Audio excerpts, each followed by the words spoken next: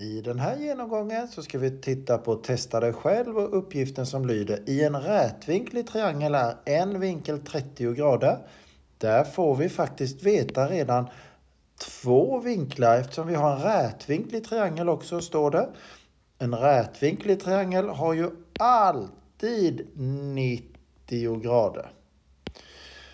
Och sen så får vi också veta att en vinkel är 30 grader. Hur stora är de andra två vinklarna? Och i geometrin, rita så mycket du bara kan. Det är jättebra. Här ritar vi upp en rätvinklig triangel. En vinkel som är 90 grader. Och vi vet att en vinkel är 30 grader. Sätter jag att den är 30 grader hade jag lika gärna kunnat säga att den är 30 grader. Och vi vet också att vinkelsumman alltid alltid i en triangel är 180 grader. Och då så har vi ju 90 grader plus 30 grader plus x som ska vara lika med 180 grader, alltså vinkelsumman i triangeln.